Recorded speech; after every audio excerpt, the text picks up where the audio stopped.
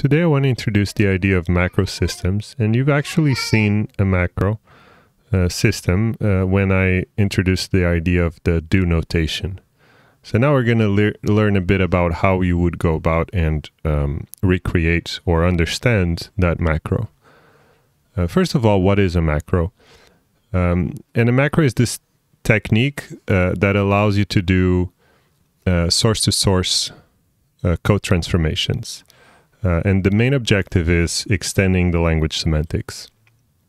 Uh, but you will see that it may also uh, it may also be things that are a bit more trivial that are not much about the language per se, but just to enrich or or simplify certain libraries. Uh, so there are three things that are important, uh, three ideas that are important in the macro systems. Uh, first of all is defining the macro. And this is explaining uh, programmatically how the source code transformation will work. Uh, and the basic idea behind a macro system is really like a, a mini compiler that you have, right? Or, or you can extend the compiler or, or the parser to generate more code, if you will. Uh, so the macro system is known as the language that is used to describe these transformations. So it could be the same language as the source um, programming language. It could be a slightly different one. It could just be an API to access, you know, the AST nodes and all that. Uh, and then there's the process known as macro expansion, which is um, essentially the procedural part of it, where where uh, you take the macro system, you use the language to describe how you perform the transformation. The macro expansion is the act of performing the transformations. Uh, so macro expansion occurs before the program is run and compiled. So let's look at a few examples. The first example is the one you are already familiar with, uh, which is the do notation. So in this case, we wrote this do and then an X, an arrow, and then something, and then something else. And this is actually syntactic sugar for a bind operator, uh, where the order of the things that appear in differently, right? As you can see, for instance, the push appears here, uh, and this X appears inside the lambda, uh, and the result, there's a lambda that is, its body is pop, and pop is defined after. So the, the context, everything is different. The, I mean, the, uh, the syntactic context or syntactic scoping can be changed because you have full control over the code that is being generated. Um, another example is you, for instance, could define a macro that just discards some of its arguments. So it kind of looks like a function call, but it's not, right? So in this case, uh, there are some tokens that appear.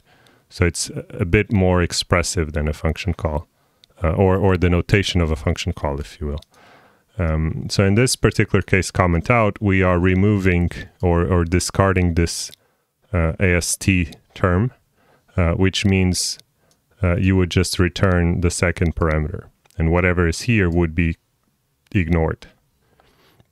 So particularly, you see that there's a division by zero that is not uh, run. So macros, they actually power the Racket language. A lot of the features that you have access to, they are created by means of macros. Uh, they can encode infix notation. They can encode alternative evaluation methods, as we will see in, a, in the next few slides. Uh, they can be used to generate boilerplate code. For instance, if you think about uh, how structs work and the fact that you have accessors, you know, like uh, name of struct minus some field, uh, and having those functions that can all be generated with uh, with a, a, macro or a macro system. Um, you can encode different programming models. Uh, as we've learned a lot in this course, um, most of the techniques that exist in programming languages, they're not that complicated to implement. Um, then what you have is just this syntactic veneer to simplify its usage. So uh, macros can achieve that. They, they can use this encoding, this library of, let's say, promises, and you can wrap them around uh, in a nicer syntax that makes it a bit more intuitive. Um, so now let's think about how are macro systems used in, in practice. Uh, first of all, most of uh, Racket's programming language features are built with macros, uh, and you can even inspect it by by going through the source code of Racket, um, and you will notice that that is in, in fact the case. Um, another case, another programming languages, for instance, OCaml, it has its own uh, macro system, and a very common use for macros is code generation. So, for instance, you define a struct or a, an object or whatever, and somehow there's this um, automatic uh, JSON or XML serialization, right? Where you you whenever you you have an instance of a certain a value or, or an instance of a certain object, you have automatically an XML or a JSON representation of that same value that you can save to disk and then load from the disk to recreate the same value. Um, it's also important to, or used quite a lot in boilerplate generation, uh, the idea where you have bridges or um, foreign function interfaces. Uh, basically, whenever you want to call, let's say, from OCaml to JavaScript, um, there is a lot of um, things you have to do if you want to do it from first principles, let's say. Uh, macros can simplify uh, the usage, let's say in this case, the usage of JavaScript via OCaml, by generating a lot of things that you have to do all the time uh, that cannot be abstracted away in a function. Um, for instance, in Rust, um, there are uh, macro systems to simplify um, the access to glib, which is a, a, popular C library that gives you a no object-oriented programming uh, runtime interface. So you can have you can access the C uh, a C library's object-oriented programming um, runtime with a, a syntax that is very close to Rust by using a macro system. Um, okay, so now let's think a bit about what are the problems of macros. Why are they not uh, super common, or what are the problems of them? Um, one of the big difficulties of macros is because they're so powerful, it's unclear what is their computational model, right? So what does a, macro do? You have to look at its code. You cannot assume anything about it because it can, it's a compiler, right? It can generate any code that can do anything. So essentially, you you lose this uh, predictability. So really, macros need to be very carefully crafted and uh, not. It needs. It cannot be something that is. It needs to be very well explained as well. So the the what's happening needs to be clearly explained to the user so that there are no um, surprises. Um, they also have limited composability because, uh, because again of the unclear computation model, right? If you are compose, if you're trying to compose different computational models, uh, it might be impossible. Uh, and macros give you do not help you in that way. They might. You might create a macro to compose or to integrate two systems, as I showed you, for instance, if you want to go from uh, Rust to glib. Um, but the idea, but composability is not transparent, again, because it's uh, not possible to know, it's impossible to know what is the computation model from uh, just looking at a macro call. Uh, another problem that may occur, and that also depends on the macro system, but usually what happens is that uh, macros will generate some code, but the code is accessible. Like if you throw an exception, you will still see uh, in, in the stack trace code that is from the macro. Uh, code that the user cannot see, right? Because this was generated. So it's for the programmer, it, it is confusing because they will be looking at something that is unclear. Like, for instance, if you ever use uh, JUnit and you have um, a test case that fails, you will see the library, a bit of the lib of a bit of the internal state of the lib of JUnit when you a test fails. You will see that there's some framework like the on the bottom of the uh, stack trace. You have like some weird stuff. So think of it like this way uh, this effect, this this problem occurs also with macros, right? Because you are generating code, code that you have no idea what it is, uh, and there's no way to encapsulate it. At least usually. Uh, another problem is macros usually are very powerful, and it just means that you, the macro system itself or its transformation, may not terminate, which is a problem uh, because it means that your compilation stage or parsing stage could uh, halt, right? Or could not not halt. That's the problem. We hope it halts, but um, with a macro system, you can make like an endless loop, an infinite loop that would uh, just mean you would never be able to even load your program.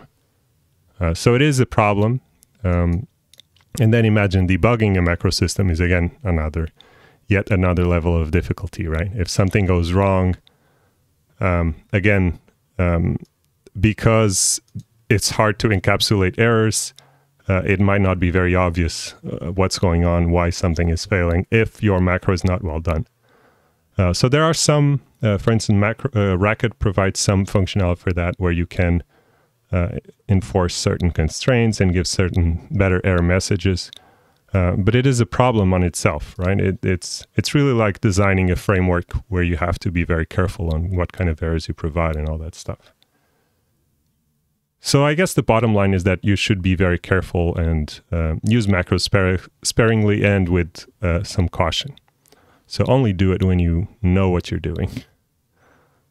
Uh, they shouldn't be used, um, you know, for for things that are not really meant to be done with a macro. So next, what we're going to look at is um, how we man- how we can manipulate the syntactic elements uh, aka the, the ST of, of Racket in this case, how we can define macros uh, and control the evaluation of an expression. And we also introduced the idea of macro hygiene, which is actually very important for homework 8. It actually shows up there again, this problem. Um, so, first, one thing that I've been talking about is that macros manipulate syntactic terms. Uh, by this, I usually mean they, they're talking about, they, they manipulate the concrete syntax, ultimately what the compiler sees. Um, so it's basically a function that takes a term, um, an AST term like a, a, a, datum, and changes it. Um, this is actually something that we'll be doing in Homework 8. Uh, homework 8 is a compiler, which is very close to a macro system. Um, macro systems do not operate at the usually do not operate on the lexical level. Although, although as I will show you in a few slides, sometimes they may. Uh, and by lexically, I mean they usually the macro system doesn't parse any text. It's simply accessing, you know, the quote the quoted term directly, or even something more high level like uh, an AST node or an AST directly. So let's look at a few examples. Um, when you are, again, I talked about macro expansion, just to recap for those who don't remember, the idea of macro expansion is just the transformation stage where you take, uh, where you're applying the, the macro rule. Um, so it, it, it's really, macro expansion is the process of uh, manipulating the, the code itself. Um, so one question, and this depends on your macro system, is whether or not it supports uh, structured data. Uh, so for instance, in, at the C level, um, it only looks at input as just as text. The, the macro system is implemented on top of text. That's what it sees. Um, so for instance, if you define addition as a macro that takes two parameters, x, y, there is really no notion of this is just expanding to x plus y, uh, which means there is no notion of um, priority or any assumption about whether x and y are together, like your natural interpretation. So I'll give you an example to make this a bit more clear. So for instance, if you write add 1 comma 2 times 3 in, in C, this will expand to 1 plus 2 times 3. And note that 2 times 3 will be um, multiplied together. Whereas the expectation would be that 1 plus 2 would would be uh, added together first and then the result multiplied by 3. right? Uh, if you want to do that in C, you would have to put parentheses around uh, the X and the Y. So um, in Racket, for instance, this is not the case. Uh, you can define a macro very easily with this code. Um, and it does understand the notion of structure. So add 1, 2 is literally is going to expand to plus 1, 2 right here. Uh, so it always will always be 9 and not uh, two, and not 7, right? Which is 2 times 3, 6 plus 1, 7, which is um, an incorrect assumption, I guess. But this is just some some the way the C macro system works, which is uh, simpler to implement, but of course uh, way harder to use uh, for a macro user, right? So you have to be very careful. Um, so th this is a. I, I went ahead and I, I searched on Stack Overflow for um, horrible cases of abusing of um, C macro systems. And this is one where you have this code. And this looks almost like perfectly fine C code, except that there's this little do dollar sign in three points. Um, and what the dollar sign does, let's see, well, it's doing a logging. So if you want to, to print out some logging information, in this particular API, you would just write the dollar sign which is really weird because if you try to copy paste this code, it would never work because dollar is would give you a compiler error. Um, and if you follow this link, if you look at the slides in the HTML format, um, there are more examples. Weirder examples, as you can see. Um, and here's one. The one I pasted. Okay, but there's more. I'm going to show you a few more. Uh, another example is uh, um, the Bourne shell. So Bash is based on that. Um, and this is code from the 70s. And in the 70s, people were using this language called Algol that is very influential to mostly every programming language now. But um, the idea is that they wrote the macro system that would make the C code look like Algol. So if you look at this code uh, highlighted in blue, uh, this is very close to Algol, the syntax of Algol. Although uh, the C preprocessor will expand this to real C code. And this is code that was working on an operating system and running on an operating system. So it's not some, you know, freak accident that someone did this for fun. This was actually being used in production. So you can actually go through, if you follow the, the link, you will see an example where there's lots of code all written in what looks like Algol. see. So this is another thing that it, it really breaks the assumption that you should be looking at C, but now you're looking at something that doesn't look like C, although it is C. Um, then there's this uh, interesting paper I read and I wanted to share with you, where it's really um, a study on the love-hate relationship with the C processor, where they interviewed uh, people on why they used macro systems, what was bad about it, what was good about it, and that kind of stuff. Um, so usually in you know open source software and that kind of. So these are a few examples. As you can see, for instance, um, there is this case where uh, there's an if condition and the macro is adding another condition only when a certain compiler feature is enabled. Compile time feature is enabled. So if this flag is enabled, then you have an extra end happening, otherwise it won't. So oftentimes there's actually um, new, more modern programming languages have implemented uh, techniques to work around these, um, you know, to do it a bit better than this way. This we can do better than this. Um, and for instance, in Rust, you you can have like flags that you enable and disable, and and have code that is only compiled for for when the the tag is enabled. Uh, but you're you're not this is really crazy, right? Because you're you're kind of enabling a part of of a sub expression, which is weird. Um, all all to save, all to save some some typing. Uh, another example is even more insidious, perhaps, uh, which is open.